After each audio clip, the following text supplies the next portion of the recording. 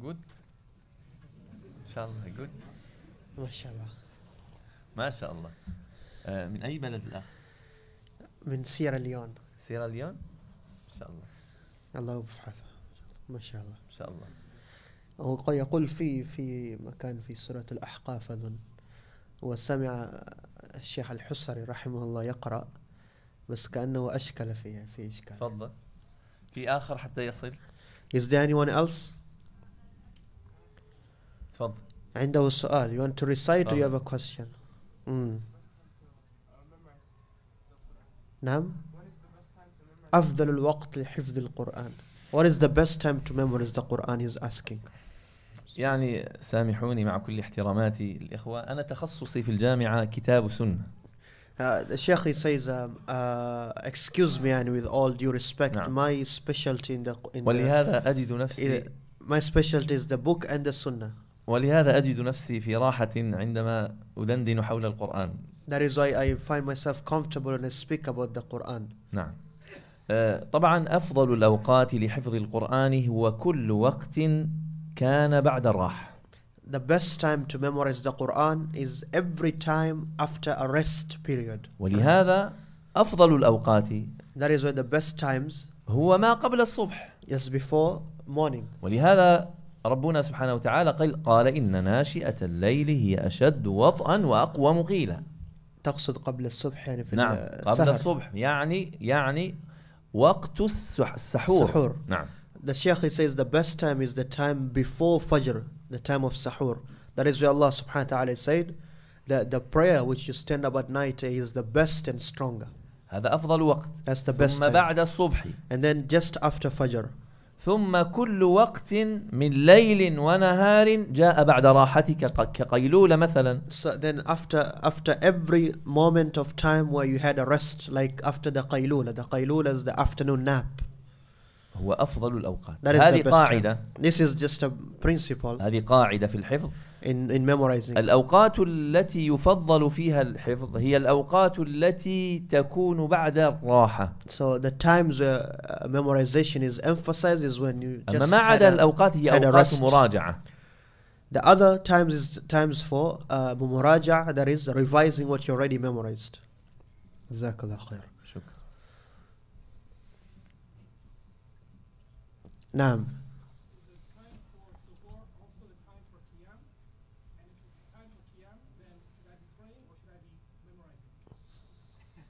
Can you repeat? وقت السحور هل هو وقت الصلاة؟ وإن كان وقت الصلاة هل أصلي أو أقرأ القرآن؟ جيد آه، طبعا آه، آه، أنا أقول إذا كان الإنسان قد فتح الله عليه I say if someone Allah has opened up for him بالوقت كأيام الشتاء that uh, like he has time like the winter days هذه أيام الشتاء من فصل الشتاء قال كان يقول فيها أسلافنا اغتنموا فرصة الشتاء فإن يومها قصير فصوموه وليلها طويل فقوموه the, the the predecessors they used to say take advantage of the winter days because their days are shorter so you fast and the nights are longer so stand up in prayer ولهذا إذا أردت أن تصلي قيام الليل so if you want to pray the night prayer وتراجع ما حفظت and to revise what you have memorized فلك ذلك then that is good حتى تشغل دماغك so that you work your your, your memory يعني يشتغل دماغك بعدين اترك مجالا للحفظ كنصف وجه من صفحة أو صفحة على حسب and الطاقة then you leave some time uh, according to your ability of memorizing that could be a page or half a page فالدماغ يحتاج إلى آه، يعني آه، ما يسمى بالتسخين كالعضلة فهي تحتاج إلى تسخين the, the, the, the brain also it requires to be warmed up وأفضل requires to warm up. تسخينها أن يراجع المحفوظ and the best way of, of warming it up is to revise what you have already memorized and then you memorize the new part حتى تركز أفضل you will have more concentration نعم. mm. you have it already اقرأ اقرأ أولا read تفضل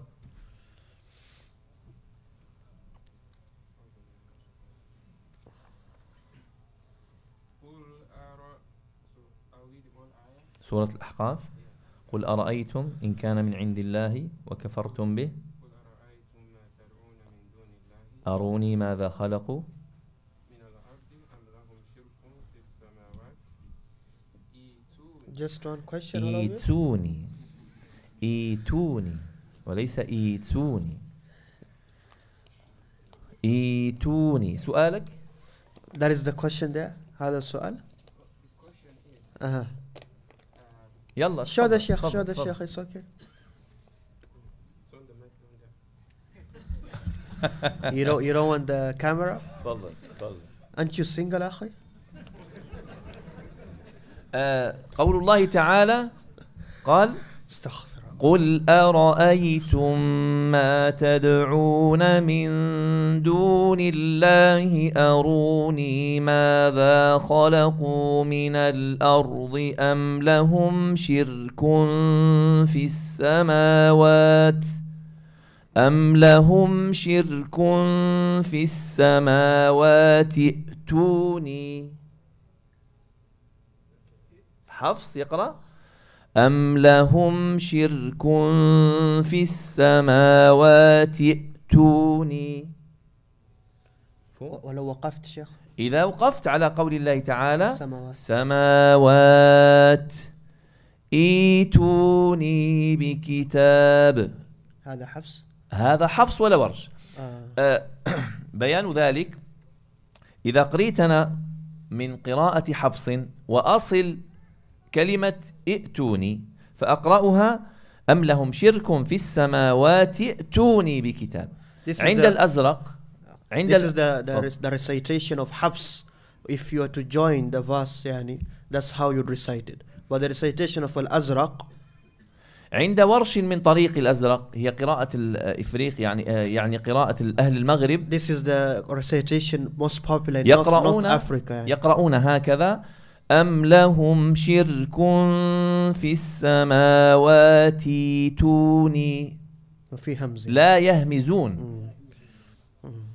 أم لهم شرك في السماوات توني ورش. أما حفص؟ أم لهم شرك في السماوات ائتوني هذا في حال الوصل. أما في حال الابتداء بها فورش وحفص سيان So this is the, the difference in the two recitations if you are to join. But if you are to stop at the word as-samawat, then all of them to begin the next word itun is the same. مفهوم؟ Mm.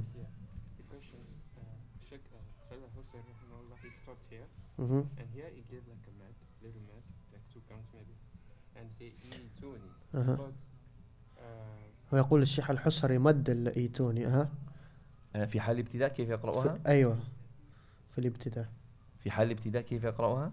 if he when when he stopped here yeah, okay and how did you recite it recite it so he can hear إيتوني. ايتوني أيوة. جيد هذا ما بيناه أها. that is how it is هذا.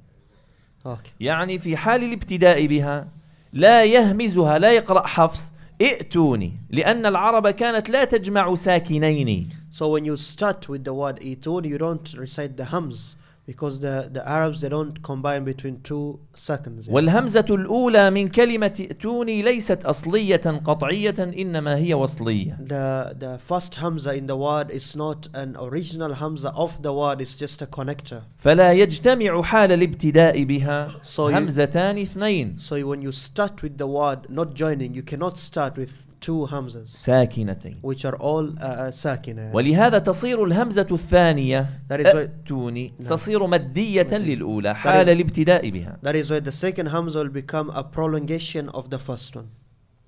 شكرا Mm. Thank you.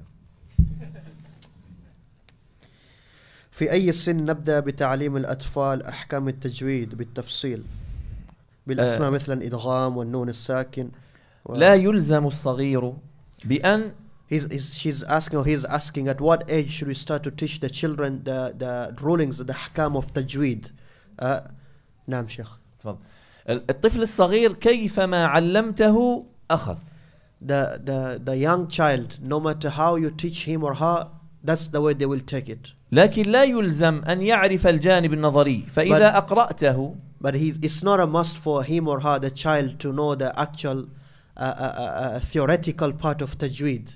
فإذا أقرأته أقرئه قراءة صحيحة So when you recite, you teach him or her how to recite, rec- make them recite the proper way. فتجده يعني ناسخ أو شيء منسوخ فقط You'll you'll find you'll find him that he copies it directly. لكن لا تحمله الجانب النظري فتقول له هنا كين هنا إدغام وهنا إخفاء وهنا إقلاب وهنا إظهار وهنا لا تحمله هذا But الشيء don't don't uh, burden the child by teaching him or her the theoretical part of tajweed.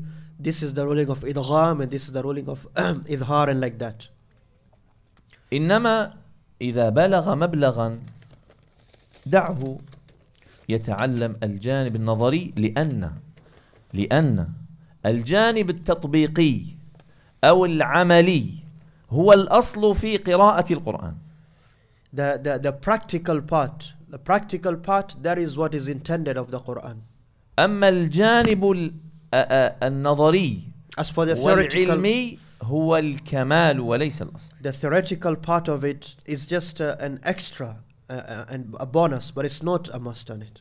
فلمن أراد أن يتصدر إقراء الناس وتعليمهم كان لزاما عليه أن يصل الكمال بالأصل So if you want to to complete the child in teaching them, then you you you you add the the bonus or the extra with the with the one which is a must. في أسئلة فقهية يعني أطرحها لك إن شاء الله.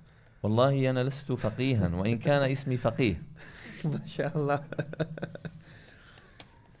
طيب I will answer this very quickly. Are we allowed to wear a ring on the finger of tashahud? I don't see a problem with that. My question is about Taraweeh, women's Taraweeh and Qiyamul Layl at the masjid. I say no, women's prayer at home is better. My question if a sister who does not know a lot of surahs and feels more concentration in the prayer and he learns many things about the deen from the lectures in between prayers, can she come to the masjid for the prayers and have the rewards? Yes, there's nothing wrong if the woman wants to come to Taraweeh to pray, not to gossip, because there's a lot of women they come to the masjid as a hangout, especially Taraweeh.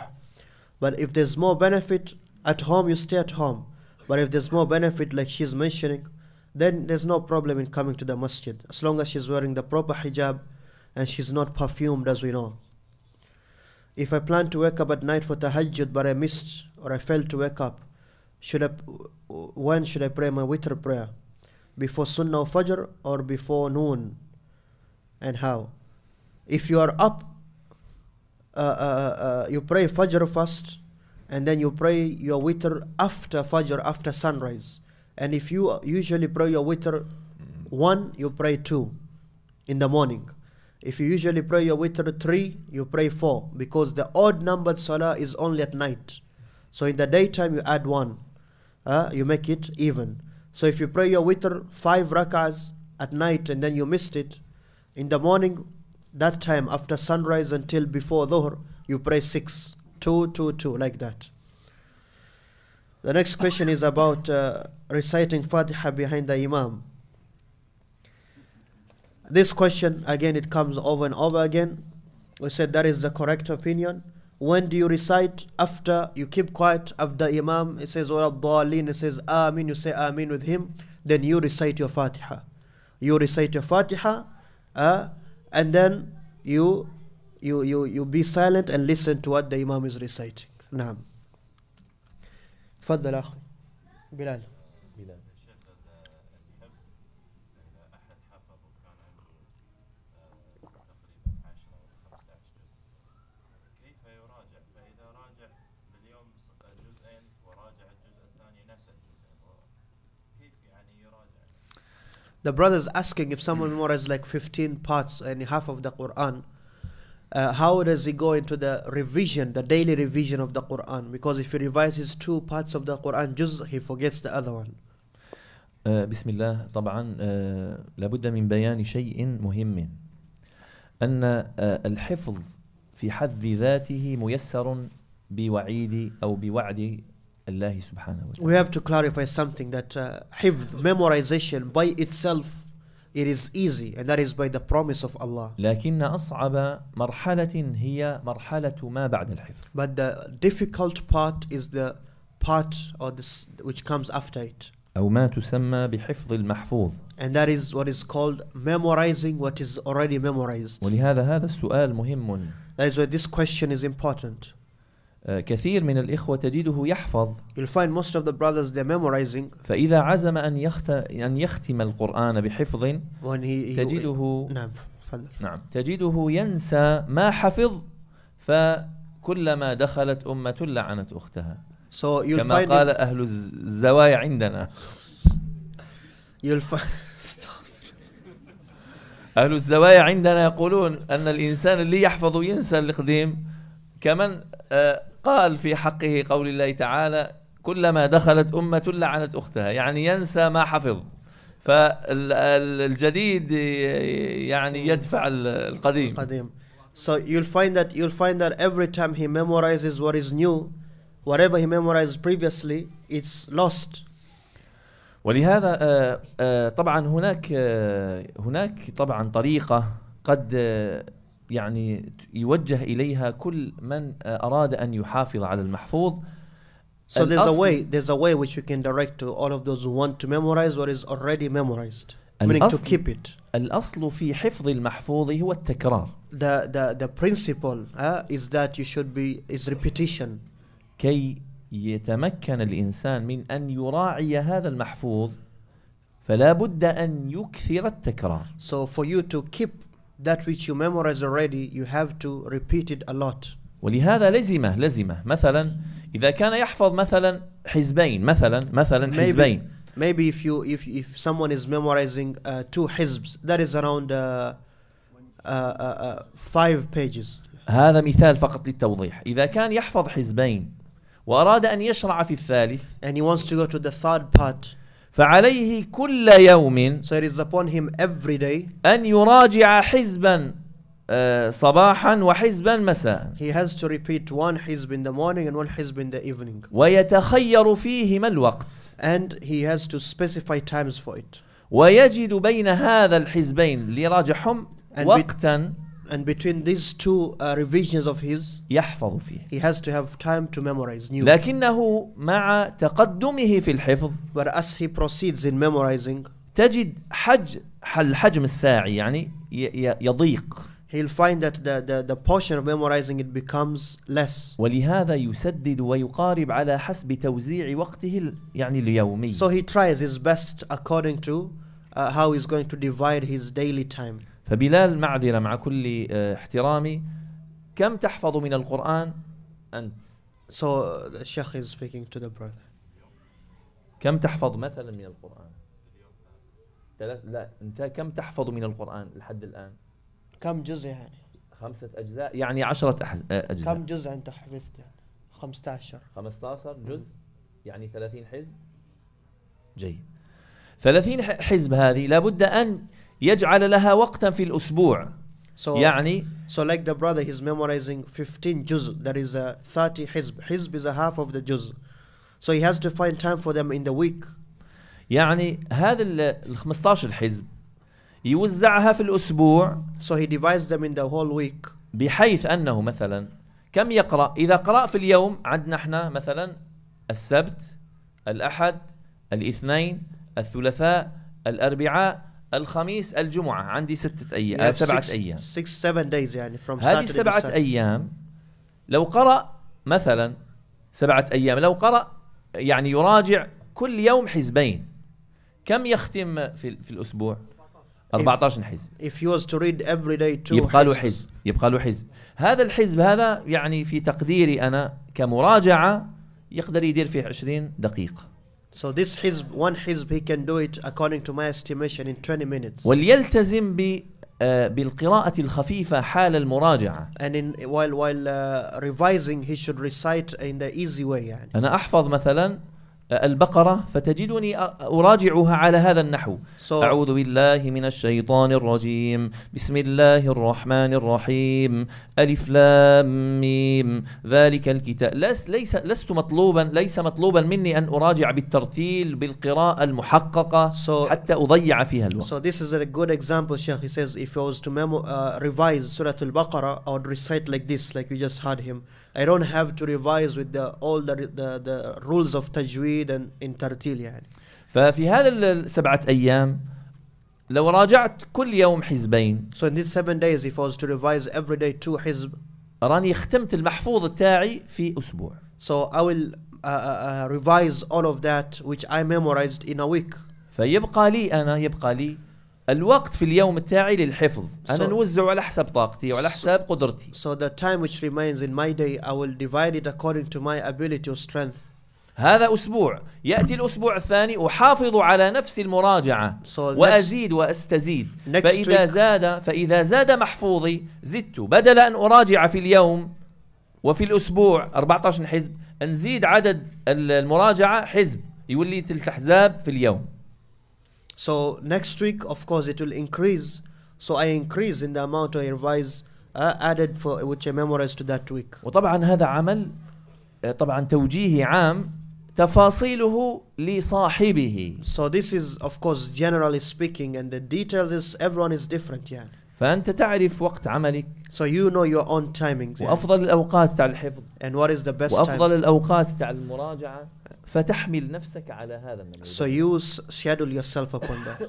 ولهذا تجد الأسلاف أو من يحفظ القرآن تجده يختم القرآن في الأسبوع مرة That is why you find وفي the, الشهر أربع the مرات predecessors who came before us, they used to finish the Quran every week. So in a month, if memorize, you finish the Quran every uh, four times. Or كيف ذلك؟ how? يقرأ عشرة أحزاب في اليوم One day you recite 10 ahzab, that is 5 juz يعني. فإذا قرأ عشرة أحزاب في اليوم تجد السبت الأحد الاثنين الثلاثاء الأربعاء الخميس يختم الجمعة راحة In 6 days he finishes, and Friday is a rest day. السبت يستأنف Another Saturday he starts again. وهكذا يسدد. ويقرأ بس هذا مراجعة شيخ آه، بالغيبية ولا بال لا إذا كان يراجع فعليه في بداية الأمر أن يحمل مصحفا ولا بأس I asked the Sheikh that this revision is it out of memory or by looking into the mushaf and he said you have to in the beginning you have to look the revision has to be by looking reading into mushaf. شوف مثلا بلال أنا عندي مصحف هو في يدي. في البداية لما أبدأ المراجعة قد تجدني أسقط في بعض المواضع فأرجع ولا بأس. فأرجع ولا بأس. ثم تجدني بالمثابرة أضع المصحف جانبا. He said in the beginning you'll have the mushaf in your hand and you you revise and you might look يعني.